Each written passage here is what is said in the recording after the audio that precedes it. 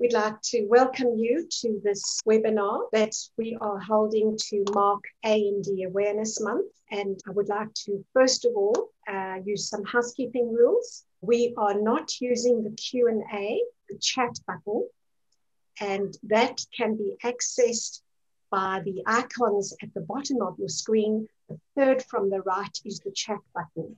We will only be answering questions at the end of the talk. For those of you who can't find the chat button, relax. You don't have to get excited. You can also send your questions via email to me, Claudette Medefindt. The email address is claudette at retinasa.org.za. And if you would like to send a WhatsApp message, you can WhatsApp to 083 306 5262. Um, so I'd like to introduce you to myself. I'm Claudette Medefindt. I'm the head of science of Retina South Africa. This webinar this afternoon has been organised by our Port Elizabeth office, and uh, we'd like to pay tribute to their efficient working and organisation of this webinar. They have also managed to get CPD accreditation. So again, if you want CPD accreditation, you can send an email to that email address, claudette at retinasa.org.za, and you will be told how to go about applying for CPD points. You can only get CPD points if you are registered for the webinar.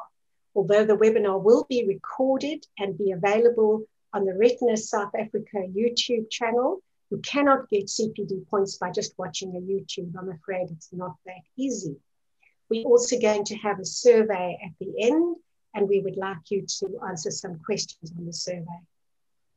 So without further ado, I would like to welcome you again and introduce you to our panel, Dr. Louw, who is an ophthalmologist at the Port Elizabeth Provincial Hospital Eye Clinic, and Dr. Olivia Read, who was at the uh, PE Provincial Hospital Eye Clinic until 2017 is now in private practice. Benjamin Liss, who's a low vision optometrist in Nelson Mandela Bay. Our host, Gail Cillie, who you will hear from at the end, and me, Claudette Medefindt. Most of all, and of course, a big thank you and uh, welcome to our keynote speaker, Karen Denton. And Karen Denton has got such a long CV that we actually need a special webinar just for her CV. So suffice to say, she is one of the most natural and gifted public speakers that I've ever encountered. And she's oh, really great. Her knowledge is vast. She spent most of her academic life studying and learning about diabetes and diabetic retinopathy. Uh, and that would be the subject of a future webinar. But today she's going to concentrate on her other passion, which is age related macular degeneration. She's the wonderful speaker and is so knowledgeable and is the, one of the rare finds of people who are happy to share her knowledge.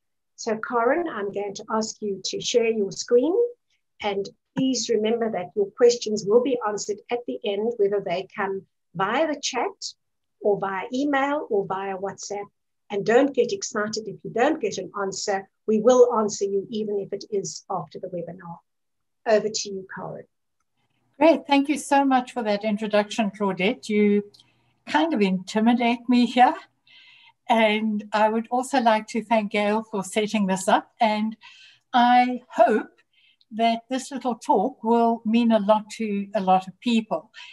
I want to point out that this talk is geared at what we at Retina do when we're involved in our education responsibilities. As you know, we do a lot of things at Retina. We do counseling, advocacy, which we're very strong in, and also a lot of education. And this talk is just an example of the type of information that we will impart to people. It is obviously individually varied according to need. So let's then have a look. We're going to talk about living with the aging eye, what you need to know. I have mentioned that we are proud of Retina South Africa and we do all kinds of wonderful things. We are not a very big team countrywide, but we are very effective. By way of full disclosure, I want to make very clear that this program is made possible thanks to an unconditional grant from Bayer, South Africa. I'm going to start by telling you about a few important concepts that people sometimes confuse or not aware of. For those of you who can, have a look at this picture, and I'm sure that you'll be able to see that there is a cheetah. That is vision. Vision means you are able to interpret the surroundings using the light in the visible spectrum that's reflected back to your eye by different objects. But you'll also hear your ICAD team talking about visual acuity.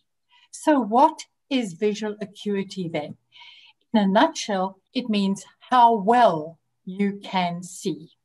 So, the difference between that cheetah, which you can see, and the visual acuity that is enhanced in this one shows how well you can see. So when you hear your optometrist or your ophthalmologist or any of your ICAD team bandying these words around, that is what they mean. If we look at the eye, this is just the most amazing organ. And the way it works is quite miraculous. And I'd love to be able to spend an entire hour and a half just going through that. But I'm just going to talk about the most important concept. Light comes into the eye through the cornea, it goes through the um, pupil, the lens, through the eye, and then it hits the retina at the back of the eye. And there, all these little light impulses collect from what you're looking at. For example, the picture that I have there. And that little picture travels along the optic nerve into the occipital area, usually there are other areas in the brain where it is interpreted as that picture.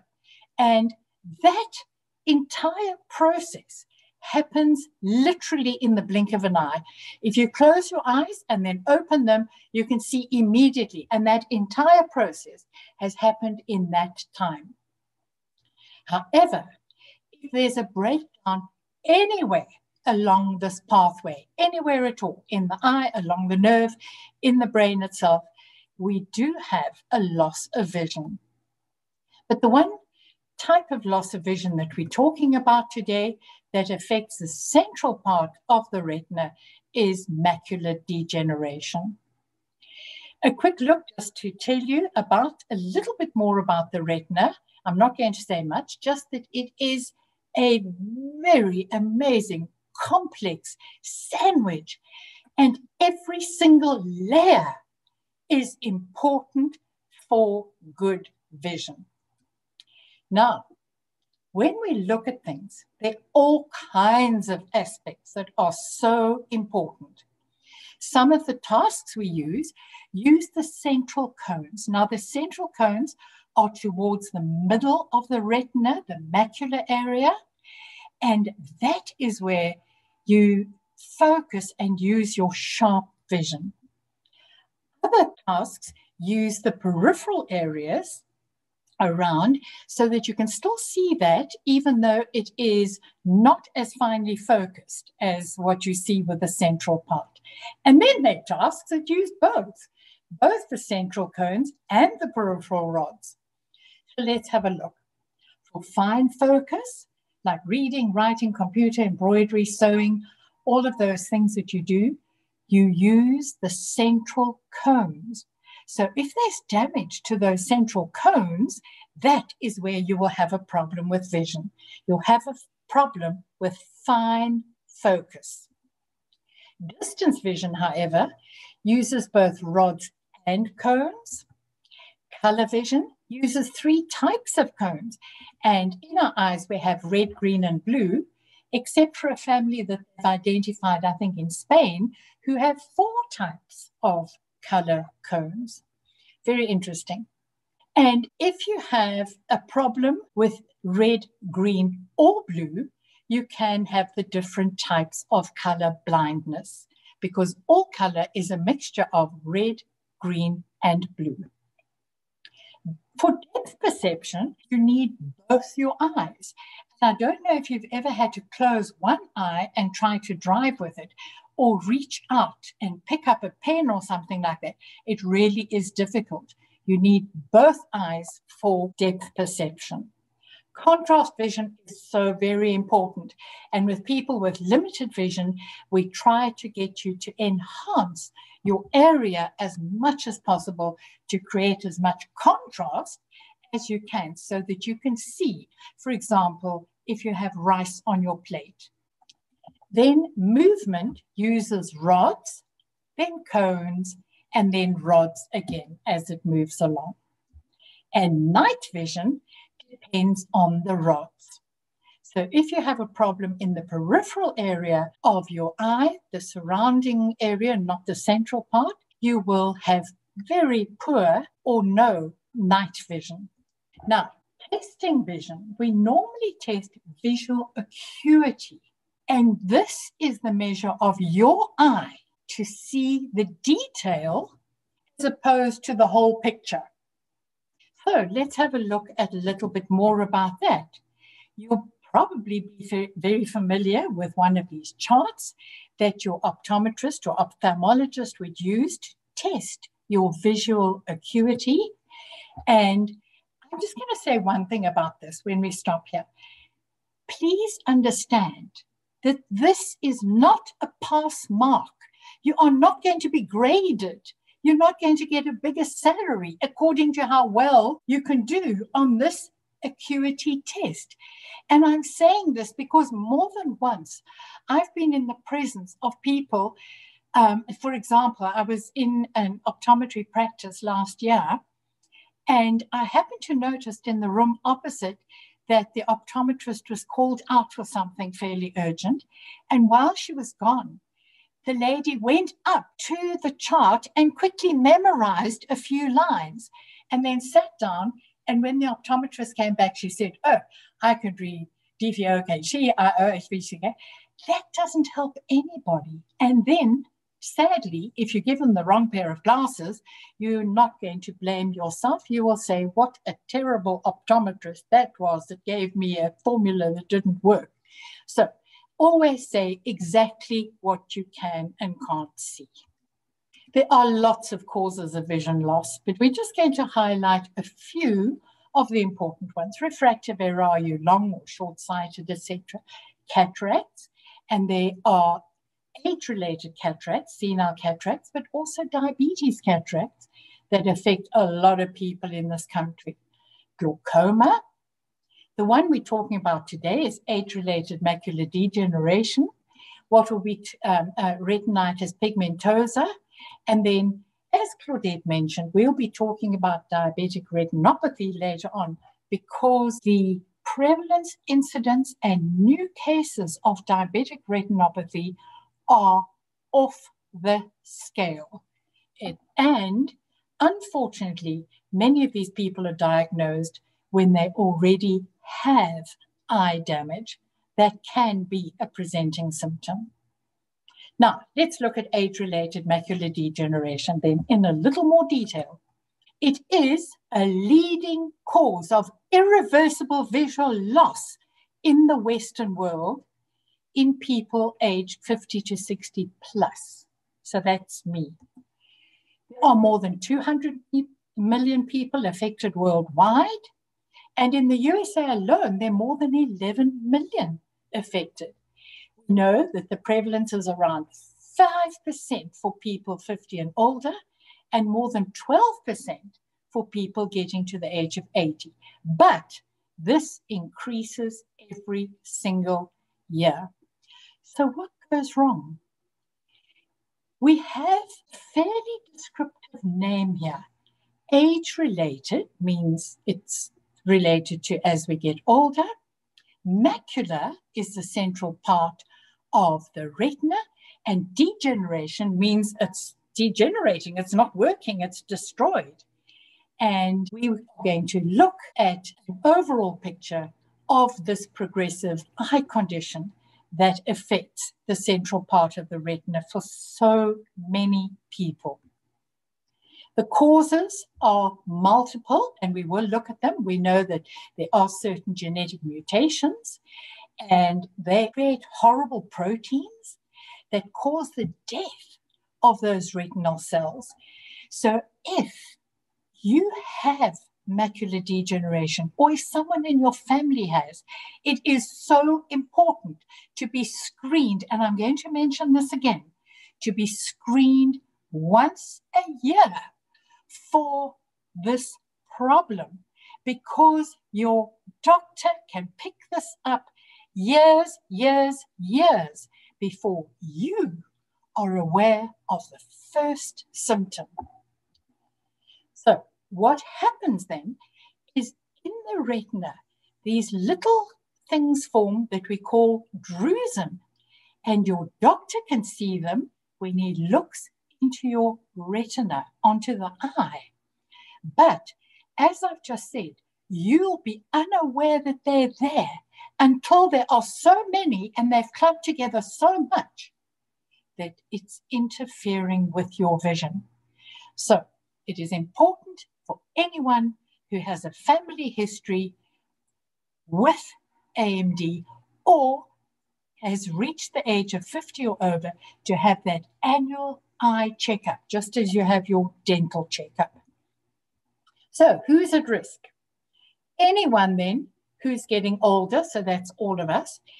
And in a study that they did two years ago in the United States, they actually found that one in 14 people over the age of 40 have signs and symptoms of AMD. So we need to jump around.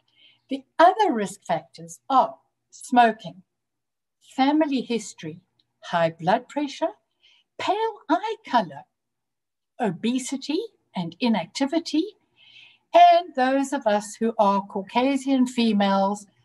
Sorry, guys, we're in trouble. I've got blue eyes and I'm Caucasian female, I'm at high risk. And then air pollution has been shown to be a major factor. So if you live in an area, this is actually Johannesburg taken last year one morning. And as you can see, we live in a high risk area. And as an example of the kind of person who is at risk, Dame Judi Dench has become quite an ambassador for macular degeneration. So, but there are other risks as well. First is overexposure to sunlight. Now, we live in a country where we have the most glorious sunlight. We have beautiful sunny days, long days, and it is important for you to have exposure to that sunlight. But the trick is when, and I'll tell you quickly as long as your shadow is longer than you are, you are safe to go in the sun.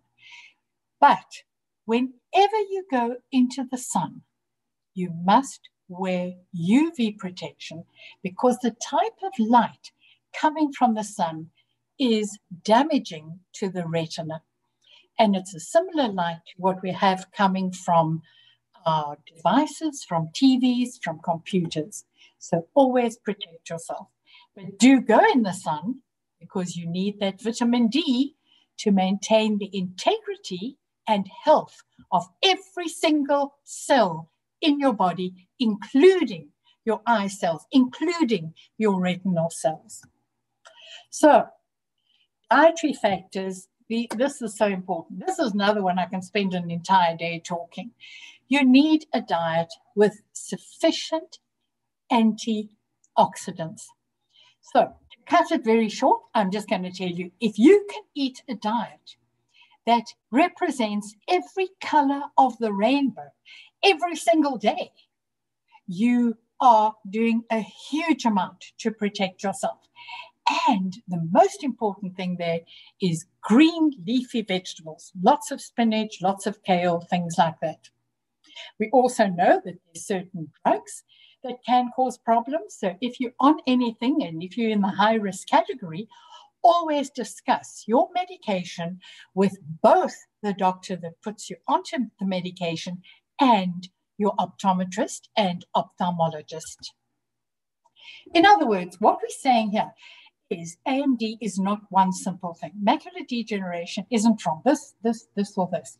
It is an interrelated, interconnected host of factors. It's your genes, it's your environment, it's what you eat, it's your age, it's your biology, it's what you do, it's your exercise, it's everything. It is a combination of both your genetic and environmental factors. So, we mentioned earlier that when you have degeneration of the cells in the center of the retina, this is the area responsible for your central vision or your sharp vision, where you focus. This is responsible for reading, writing, watching TV, driving, recognizing faces, sewing, what all, all those things that you need to look at in detail. Loss of central vision means you're not going to be able to see that central part, although the surrounding will probably be quite intact. And in these two pictures, on the left hand side is um, just a normal picture of two kids together. And on the right is the same scene viewed with someone who has quite advanced severe AMD. Now, there are two types of macular degeneration. There's dry, also known as non neovascular, and wet, known as neovascular. And I'm going to just quickly tell you that neovascular relates to the growth of new blood vessels in the body where they should not be. Now, your body's very good at doing this. If your body detects an area in the heart, in the eye, wherever it is, that needs a little bit of extra oxygen, nutrients, and needs to have that rubbish taken away, it will create new blood vessels to go there.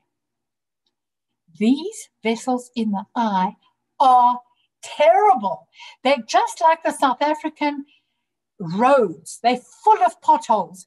They leak, they break, they cause problems. They're, they're absolutely horrific. So we don't want them there. And once again, who's going to know that they're there? Only your ophthalmologist who looks at your retina. So, another reason to get there really promptly, effectively, quickly. Dry AMD is the most common type. It is more common, about 80 to 90% of people. It is recognized now as probably an earlier stage of AMD. And it is aging or thinning of the macula.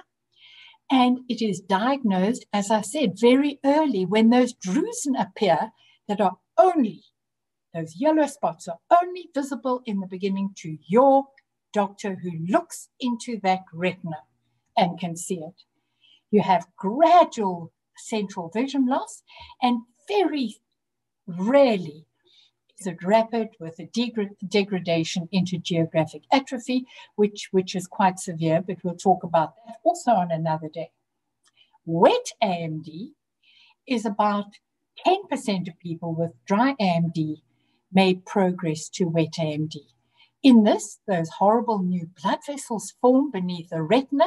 They are friable, they are nasty, they're going to rupture, they're going to leak, they're going to bleed, they're going to cause all kinds of damage.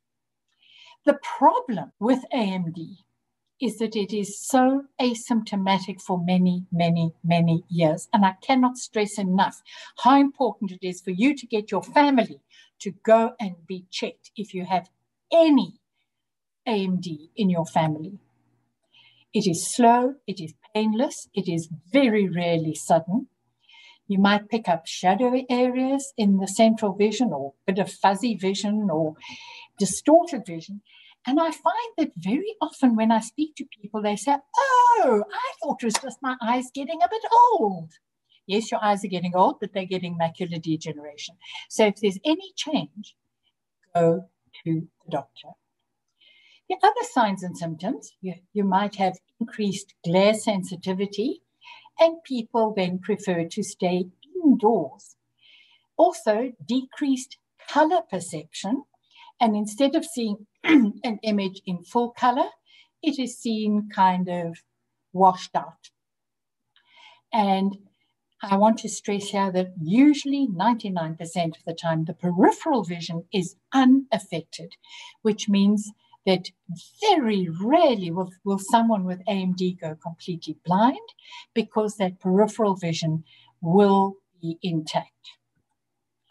Now, what happens when we do diagnostics? First of all, your healthcare professional takes a full history. They want to know everything about your cardiac history, your diabetes history, everything that's gone before. They'll then use an ophthalmoscope to gaze deeply into your eye. They'll do the visual acuity test that we mentioned earlier and that you're going to be very honest about. They can also do a dilated um, eye exam, which will detect AMD much, much, much earlier. And then we use an Amsler grid. And I'll talk about the Amsler grid a little bit more later. But just to point out that using the Amsler grid, you close first one eye and then the other. You do the eyes one by one. And closing one, you gaze at that central black spot and just check that the surrounding lines are all equally spaced, equally dark, equally parallel. They're not wavy, they're not going funny, but I'll show you more about that. They can also take a photograph of your fundus. OCT. OCT is um, a way that they are able to look at the layers of your retina and find out exactly what's going on. Exactly the same as in art. They use OCT. For example, they did in the Mona Lisa to see what lies beneath the layers that we can now see of the Mona Lisa on, on top. So they use OCT to examine photographs and retinas. And your doctor then can get a very nice picture of the layers of the retina and see exactly what is going on in all important areas of the retina. And then fluorescein angiography, and I'm sure that you possibly have had this done as well, where the blood vessels in the retina are shown up and any areas. Just a word again about the Amsler grid. Um, we make sure that the lines are parallel, equally spaced, etc., and they don't have dark spots, wavy, missing areas, etc., and no shadows. And in fact, the Amsler grid can tell us quite a lot about the progression of eyesight. And it is very important for people over the age of 50 and for anyone with AMD especially to have an Amsler grid at home and check your eyes every week, possibly maybe twice a week, just to make sure that there are no changes happening. And the moment there are any changes, you dash back to your eye care specialist immediately. Treatments then. Early detection and intervention is very, very important. We know that we have these eye injections these days for wet AMD, and I'll talk a little bit more about them because we are looking, they're doing trials on injections for dry AMD as well. Long term follow up is essential with counseling and support, and you need, for good eye care, you need that entire team. You need your ophthalmologist, your optometrist, your psychologist, orientation mobility specialist to help you to adapt as you go, your occupational therapist, and of course, Retina South Africa to help you with counseling, education, give you information, and um, to give you news and research that could be happening. And if you're part of Retina South Africa, you will know before anybody else. And your lifestyle, of course, is very, very important. I'm going to just say a word or two about those anti VEGF injections, the eye injections that we spoke about. At the moment, there are three on the market. Now, we know that people react differently to different meds, especially in this kind of medication, anti VEGF. And we know that some people respond to the one and some to the other. So if you are not getting a good response after about three injections, it might be worth thinking of switching to one of the others. I know that they often say that cost is a limiting factor. But because the other injections can be given spaced as much as three or four months apart, when you take the total cost into consideration, it actually turns out to be exactly the same. And then we were quite excited because a fourth anti VEGF was launched onto the market last year, but is currently possibly being withdrawn because they are picking up major problems with it. So we need to just keep an eye on what is happening with that one. It would be nice to have a fourth available, however, because then it just means that people have an extra option. You must control everything else. All the other diseases that your doctor is treating for you must be looked after. Lifestyle is very important, as we said no smoking, limit your drinking. These days, we do take um, products that contain lutein and zeaxanthin, which are known to be very protective of the retina. And control your weight and exercise is very important. And this is where we're picking up problem, eh, major problems at the moment with the COVID problem is that people are not exercising to the extent that they did before. So it's very important. And it doesn't matter what age you are, you can still exercise. Your diet, as we said earlier, if you can eat from every color of the rainbow every single day, that would be fantastic. And then I'm just going to say a word about oranges because this study really attracted me. It was done in Australia over a couple of years involving 16,000 people. And they found that there is a product called hesperidin found only in oranges and only in those little cells in the orange. And if people have one orange a day, it can be up to 60% protective of the retina as well. They had 60% less development into AMD when people had one orange a day. So obviously, if you're going to take the orange juice, it needs to be one with the full pulp. You know, the one that says with cells, those ones. Other things that are important, you do need to know about what low vision aids are available. And there, once again, we can help you at Retina South Africa. We know exactly where to refer you. We can tell you what is available. We can tell you what is free. We can tell you where you can access all kinds of things. We mentioned UV protection when you're in the sun, when watching TV or any of your devices. Lighting and contrast is very important for you, and there are professionals who can help you in your home. And we've mentioned that regular follow up with your team is really important. Dry AMD Currently, we, we use an AREDS 2 formula, no longer the AREDS. There are a few on the market and they contain lutein and zeaxanthin. And people, the reason I've included this is people often say to me, What's the difference between the lutein and the complete? The lutein is what you take if you're also on a blood thinner. So if you happen to be on a blood thinner and you need Ocuvite, you need to take the, the, the lutein Ocuvite.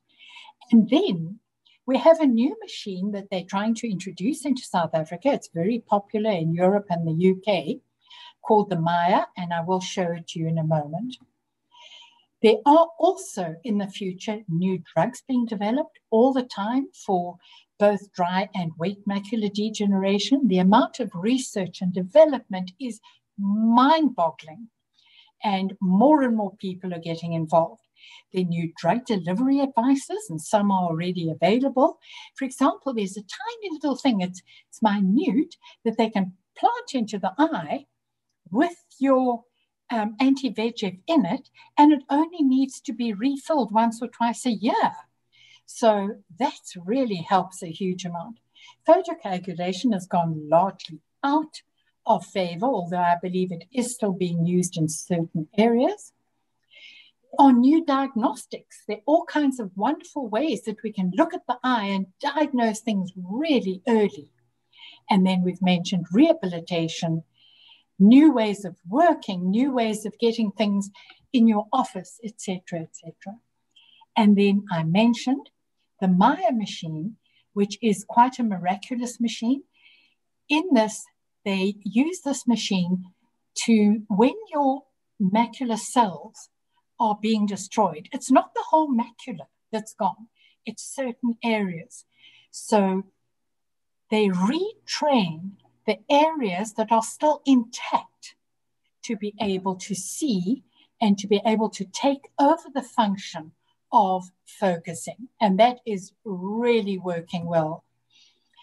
And then, last but not least, I want to remind you that if every single person that you know with AMD or a family member who has a retinal condition, they should register with Retina South Africa because, as I said earlier, we offer research, we offer counseling, education, exactly what we're doing now, and a host of other services as well.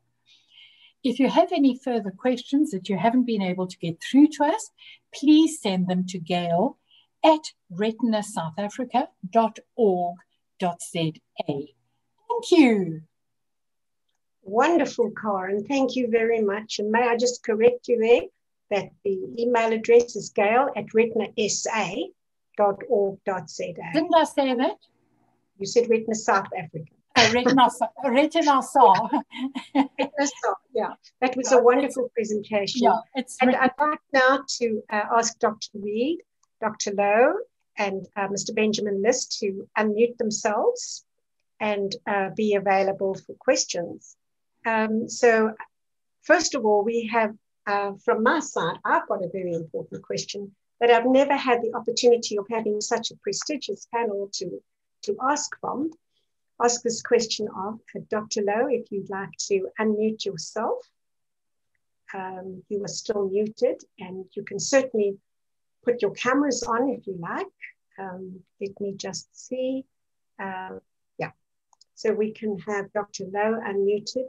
Dr. Read is unmuted and Benjamin Liss is unmuted. So it's, it's just Dr. Louw that needs to unmute his mic.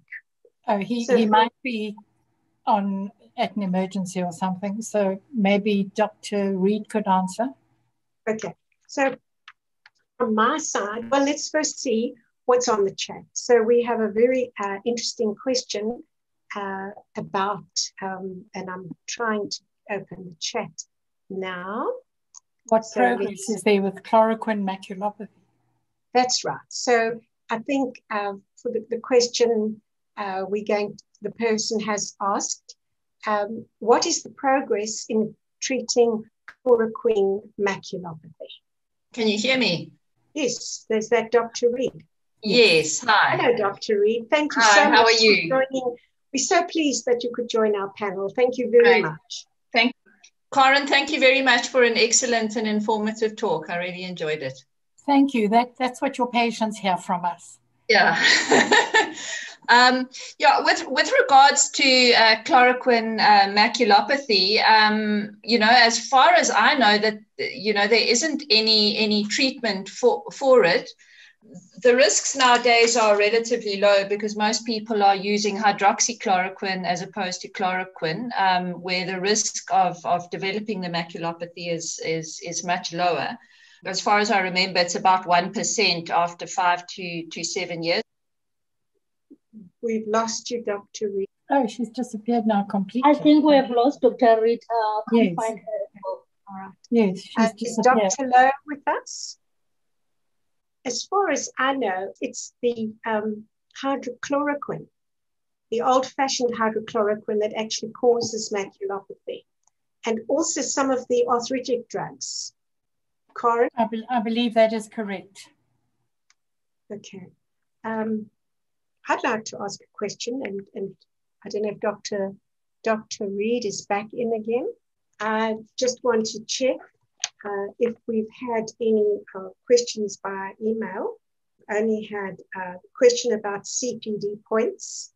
And as I said, uh, people who are registered can just email either Gail or Claudette at retinasa.org.za and you will be told how you can access those CPD points. I've got a question for, for Dr. Louw, Dr. Read, and, and maybe even Benjamin. We know that AMD is less prevalent in our Black population, but We also know that other areas north of in the North Africa, like Kenya and um, certainly Nigeria, they do have a higher prevalence of, of uh, AMD in, in their Black population. Has anybody got any any ideas on that, Benjamin? Uh, Karen, thank you so much for a wonderful presentation. Uh, no, I, unfortunately, I don't have uh, any ideas, but perhaps it could be geographic, like it is, like you see with uh, with with other conditions. So that's what I would assume. That it, there, there may be a geographic element to to AMD, but you are quite right. It, it, it is not prevalent amongst our black population in South Africa. I, I have read that it's more common amongst the Nguni people, which are the majority of the blacks in South Africa. It's more common or less common? Oh, I beg your pardon. It is less common among the Nguni people. Benjamin, is there anything you would like to add to from a purely uh, rehabilitation point of view about AMD? And, and I know the remarkable um, gain in quality of life that people with AMD do gain when they have vision rehabilitation. Mm-hmm.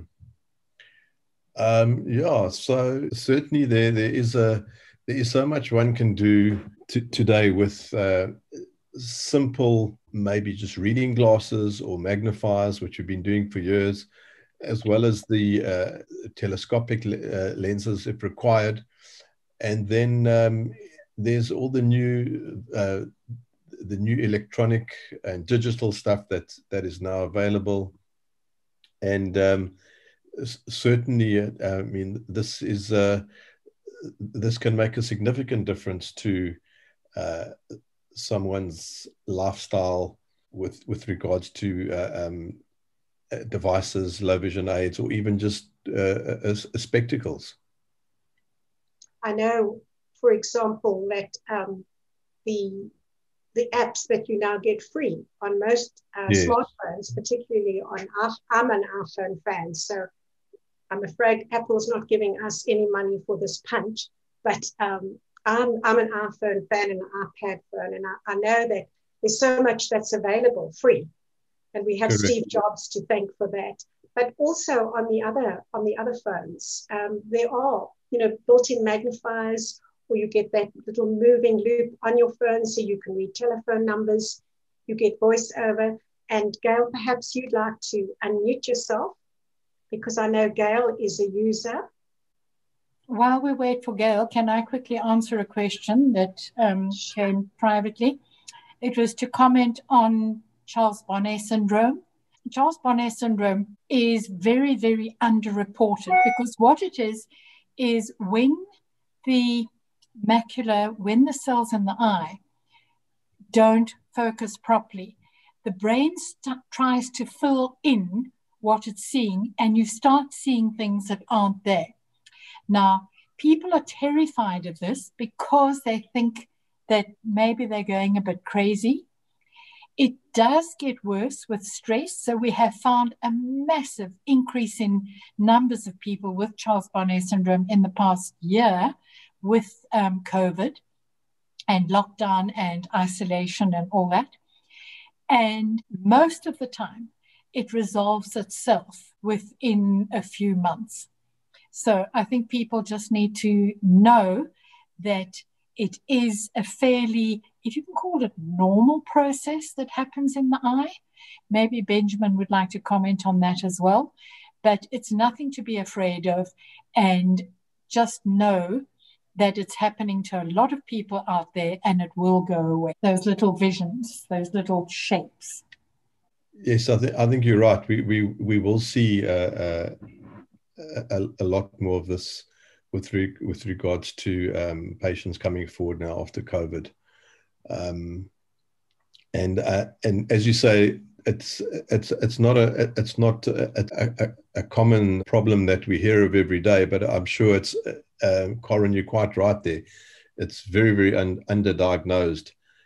I, I, I somehow also think that maybe patients are not willing to come forward and, and mention this to you in the examination for the fear of thinking that perhaps you know you know one one may think that they are going a little uh, uh, crazy, so to speak. But uh, yes, it is very unfortunate. It is uh, it is uh, it's something that you just don't hear a lot about. Yeah. and I think also what what I when we I have someone with who reported with Charles Bonnet, and it doesn't only happen in macular degeneration; can happen with any type of vision loss. We I actually advise them to to find a stress management regime that works for them, breathing, you know, relaxation techniques, etc., which does seem to um, to alleviate them. And we had a, a, a patient with severe retinitis pigmentosa who used to see little trains, and the trains came training in, came, came into the, the, the lounge, and they'd stop, and the little green men would jump out of the train and run around the room. And when I sp- explained to him about Stargardt, about Charles Bonnet, I understood and I said to him, you know, you've got to you've got to calm the mind, and the mind isn't actually in control, and you have to manage these visual hallucinations. And he phoned me about a month later and he said, I actually we actually saved him from having him committed. His family thought he was crazy. And it's it's wonderful. They've stopped. And I said to him, What did you do? And he said, When the trains came in I told them the station was closed. and they went away. But now I've discovered a lot of people have been using the Q&A and perhaps we could look at some of those. Catherine has said, is there any treatment for Stargardt's? Well, we're not talking about Stargardt's in this, this program, Catherine, but we will be handling it in a future webinar. But we will also get your email address and answer you um, privately but just very shortly to say, yeah, there are many treatments for Stargardt's, both gene therapy and also with visual disruptor drugs. And there is actually a trial that we are participating in South Africa. And to be on that trial, you need to be a member of Retina South Africa and have a genetic diagnosis. And then Mohammed has said, Thank you for the presentation. Is there any treatment for retinitis pigmentosa? And again, uh, this retinitis pigmentosa is not actually being handled in this, this session. But again, you need to join Retina South Africa. And yes, as Karen has spoken about different types of uh, supplements that can slow the rate of degeneration or the conversion from dry to wet AMD, there are also supplements uh, that contain lutein, zeaxanthin, alpha lipoic acid, and L-glutathione that we know do slow the rate of degeneration in retinitis pigmentosa. So please contact us, Claudette, at retinasa.org.za. And from wherever you are, there is a, uh, you can order from the suppliers, and they do supply internationally. Dave has said, what is the latest stem cell research? So um, I think we have to have a special program on research. Stem cell research is holds the promise, like perhaps uh, gene editing, of making the biggest difference to the treatment of neurodegenerative conditions. But stem cell is in its infancy, and there are many clinical trials that are ongoing, particularly those on AMD Perhaps you want to answer that one, Karen? Um, the stem cell research is carrying on. Um, they, they, in fact, there are quite a few going on. The most important thing that they're looking at there is how to control the cells when they're implanted into the retina. But by and large, it is looking promising. And I know, Claudette, you always say within five years. I have I can't imagine anything longer than five years. I I tend to be more optimistic and say I'm hoping that this would be available sooner than that, but also um, at the moment, if I remember, it's quite prohibitively expensive, isn't it, Claudette? Well, there's nothing that's available at the moment. It's still yeah. in all in research. Yeah. But of course, I think what the distinction we need to make between dry and wet AMD is that dry AMD is actually a disease of the pigment epithelium. Yeah. That is where the drusen first grows. So a lot of the successful stem cells are yeah. looking at, at producing or growing new retinal pigment epithelium. Now, that is an easier task yeah. than growing new photoreceptors because yeah. photoreceptors are neural cells. And we know that neural cells are very difficult to maintain in the body, even by the body, let alone to grow with stem cells. And there has been a lot of success in growing retinal pigment, epi, uh, retinal pigment epithelium. And then somebody asked about Stargardts earlier as well. And interestingly enough, some of the research will actually, the Stargardt research will piggyback on the AMD research because Stargardts is also a disease of the pigment epithelium. And for very different reasons, they uh, Stargardts actually get a waste product called lipofuscin in the pigment epithelium. And Stargardt's disease will actually, a lot of the treatment will piggyback. We hope that will be because for every one person who's got Stargardt's, you've got 100 at least who've got AMD. So it makes it financially more viable for people who are investing in research to look at something that will help AMD. So, yeah, AMD is um, progressing, and I would suggest that you look at our website, www.retinasa.org.za. And also, a very good uh, website is www.fightingblindness.org. They've got a lot of really inform- important and up to date information on research. Then we've also got from SUNA injection for dry AMD. Is it being done in South Africa? No. No, it's still Not in anywhere. no. It's, It's still clinical trial. It's still being it's still being I think it's in phase two clinical trials at the moment. So sooner, no, there is no Yeah. treatment as such. The only thing that anybody with dry AMD, of course, is to go onto product like Ocuvite to actually stop the conversion from dry to wet AMD. Angelina uh, Coupe from the National Council for the Blind is the list of professionals to take care of someone with AMD. You included an occupational therapist. How do they help the patient?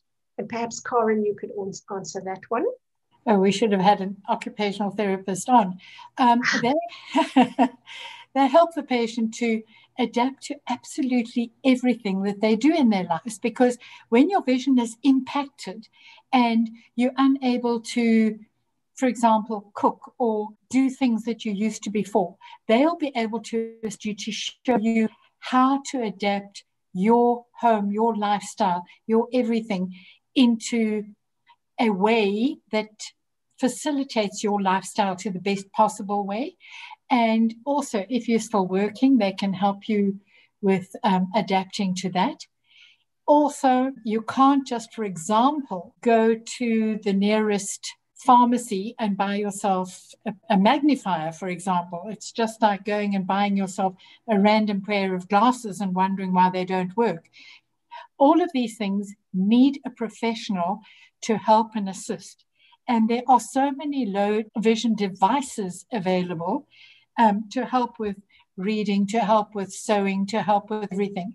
And the occupational therapist, in other words, helps you to live your life to the best possible degree. And then, Claudette, there's a very nice message from Dr. Koch. Oh, that's very nice. Thank you, Dr. Koch. He is the president of the South African Vitreoretinal Society and a staunch supporter of Retina South Africa. And we really need to thank him and his entire committee for all the support they've given us in our advocacy to make the uh, to ensure that the medical funders do give fair and equitable access to treatment. And, and we, we couldn't have done it without Dr. Koch and his team. There is definitely a question here that I can't answer, and it's how serious is a vitreous prolapse? Maybe Benjamin can answer that as well, because I'm sure he, he's a fountain of all kinds of knowledge. I think maybe Olivia's back. Let, let her rather answer that question. Can you hear me? Great, yes. wonderful. Thank you. Yes, please. Uh, a vitreous prolapse. Yes. Yes. I'm not actually sure what what is a vitreous prolapse. I'm not actually sure what.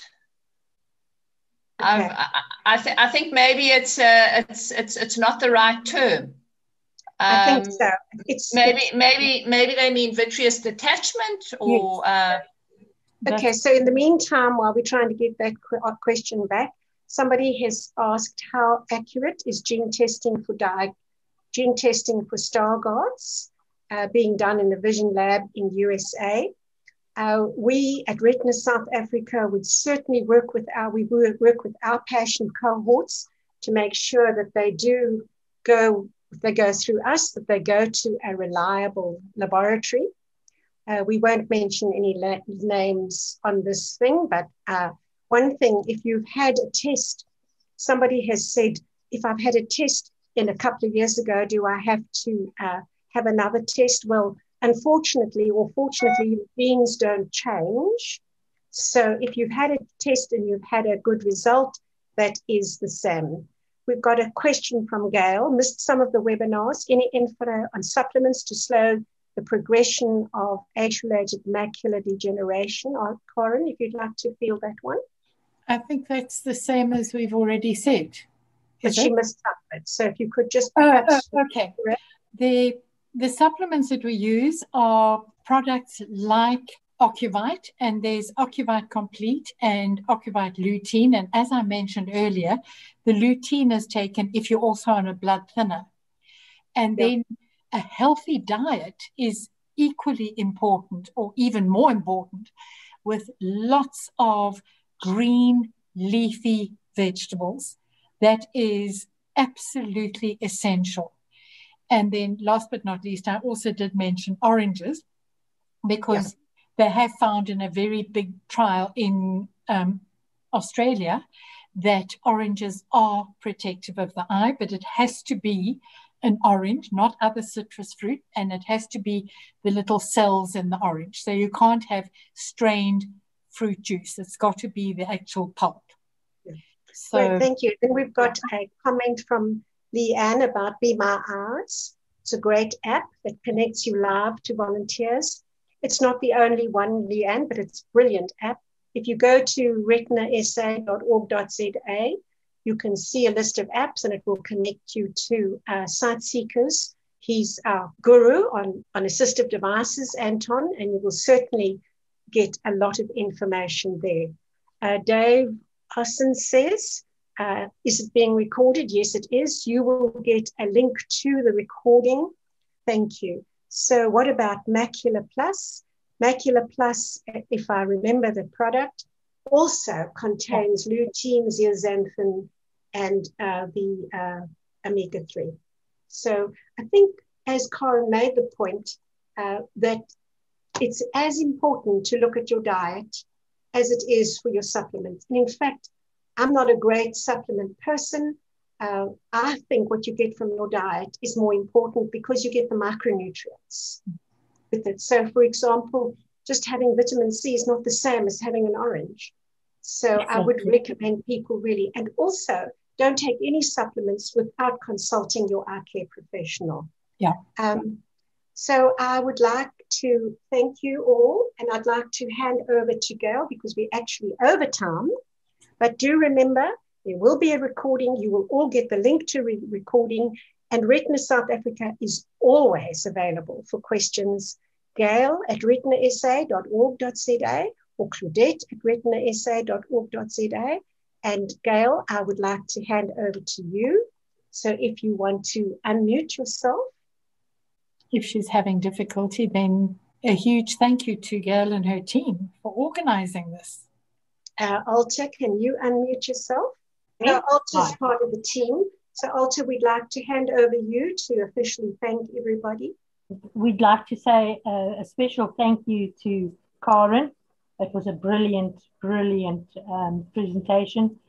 To um, all of the whole team, to Benjamin, to Olivia, and all our panelists uh, for answering all their questions. Um, we had a really good response, especially all the people who had, the, the, the people who are participating. Thank you so much for, for uh, registering and for taking the trouble of listening to us. Uh, remember, as Claudette has said, we are always there to answer your questions. Um, Alta, um, uh, Gail, Sylvia Gail at retinasa.org.za and Claudette at retinasa.org.za. Thank you, Benjamin, Olivia, all of the panelists. You were, you have been. It's been a wonderful and a really exciting webinar. And we look forward to a whole lot more. Thank you, yes, everybody. We would love to hear from you to hear what, what topics you want us to cover, because I think uh, you know the field is so wide, and we really want to fulfill your needs. So we welcome ideas and questions about what you'd like to hear. And um, I want to just echo what Alta has said to all our panels, panelists for giving us your precious time. And in the end, we all want is to provide our patients with the best quality of life so they can be the best person that they can be, even though they have some vision loss. Thank you, everybody. And um, the recording is being done. So I have to had to tell you that in the beginning that the recording is being done, and you will get a, a link to the recording. And please, you any of those email addresses to find out about CPD points. Thank you, Dr. Read. Thank you, Benjamin. Well done, Gail and Alta and Corin, and to the entire PE and to Yanela and to Bayer and to uh, Texonic for their technical help. Thanks, everybody. Thank you. Thank you.